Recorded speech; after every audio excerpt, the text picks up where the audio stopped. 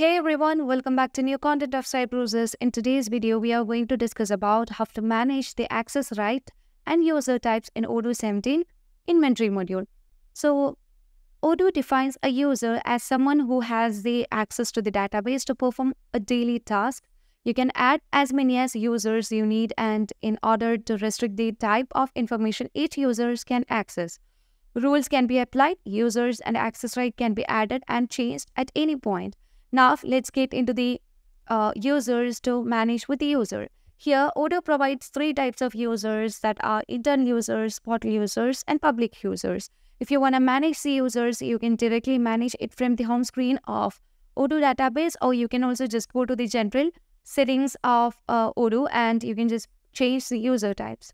And if you want to see the user types, you also need to ensure that you have set the proper uh, developer mode on, uh, then only you can just manage with the user types. So here we can see the user type is set to internal users. So in case of internal users, we can just consider two types of internal users that is administrator and simply an employee. So in case of the internal user, uh, the users um, in Odoo inventory are users have the access to the backend system and can perform the task related to managing the stock.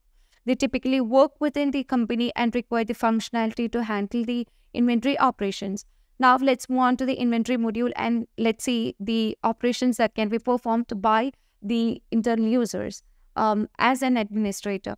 So here we can just consider the Mitchell admin as the administrator and uh, this user can have uh, levels of access depending on their assigned groups and permissions within the system and these uh, permissions are dictated what they can see and they can do in the inventory module. And you can see that this uh, user as the administrator can manage with the operations such as the transfers, adjustments in the inventory, scrap, landed cost, and replenishment. The user can also manage with the product, pro product variants, lot numbers, and packages and all. So as you just move on to each of the sections or features here, we can see that the manager can either create or archive these features or can just make any manipulations in the data. The uh, administrator can also view the reporting sessions such as the stock analysis, location analysis, or the move histories uh, and uh, the valuations or performance or agings of the inventory. Now, if the manager can also manage with the warehouse management or the configuration settings.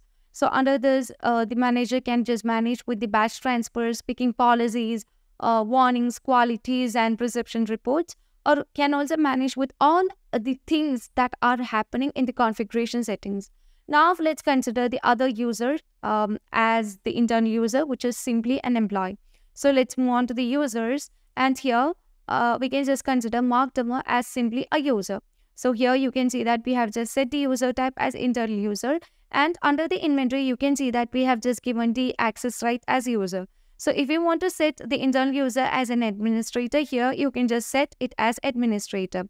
So for the time being, we know Mark Demo is simply a user or the um, employee in the company. Now let's log in as the user Mark Demo. So for that, you can just log out from Mitchell Admin and log in as Mark Demo. Now, as you just move on to the inventory module, in the inventory module, you can find that the access right will be limited for this user and uh, uh, like you can see that the uh, user can just view um, or find the overview of the inventory and he can just manage with the transfers such as receipts, uh, delivery orders, internal transfers, and batch transfers. But he cannot manage the replenishment of a product or landed cost uh, of a product and all. And he can also just manage with the creation of new products, lot numbers, variants, and serial numbers, as well as packages but he cannot make any changes in the configuration settings or just manage with the creation of warehouses or routes in the uh, inventory module. Now let's move on to the uh, administrator uh, database and let's manage with the other user. So here you can also um, find different users such as the portal user and here let's consider the portal user as Joel Willis. So portal user is um, the concept of um, yeah the user that are the external users typically a customer or client who is granted with a limited access to the specific information within the odoo database Now let's um, uh, see that uh, we have just set the user type as a portal user. And in case of the portal user, we cannot just grant the access right and all. Uh, only we can just set the access right for the internal users. Now let's log out from the user over here and let's log in as a portal user. And here you can see that uh, we can just provide a secure way for the customers to view the relevant information related to their interaction with the business. And a uh, common example for including like viewing of the invoices, cards, project details, tickets, and even making online purchases in case of e-commerce. So here you can just view the quotation of the user and uh, that can be viewed over here. So if we want to, uh, if he want to just make uh, sign and pay, he can just confirm his signature and make payment for uh, the product that he want uh, and confirm his sale order.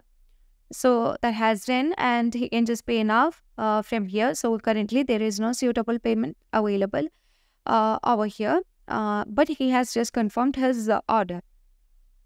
Now let's log out from the Joel Willis and login uh, as the administrator and let's discuss about the other user that is the uh, public user. So in case of public user in the inventory, uh, in uh, Odoo, the concept of public user within the inventory module is specially doesn't exist because the Odoo's inventory functionality is designated uh, to be accessed by the authorized users with the designated per permission. So public user by definition are the anonymous users without a login or any specific permission within the system. So I hope uh, this video clarifies how to manage the user type and access right in Odoo 17 inventory module. So if you want Odoo customization or Odoo tutorials, feel free to contact Cybrosys as always. Stay awesome and thank you for watching the video.